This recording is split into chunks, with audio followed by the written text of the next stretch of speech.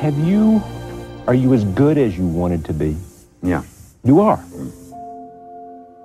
So if, if you stopped acting today, you could say, I've done it. I've done it. Stage and film. Done it. No regrets.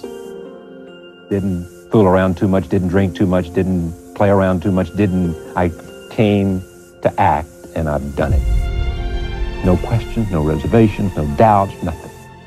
You sure? That's pretty good.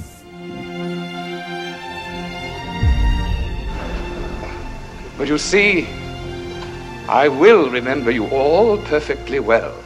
Because I will remember you as you are now. That's the point. And in that, I shall find great comfort.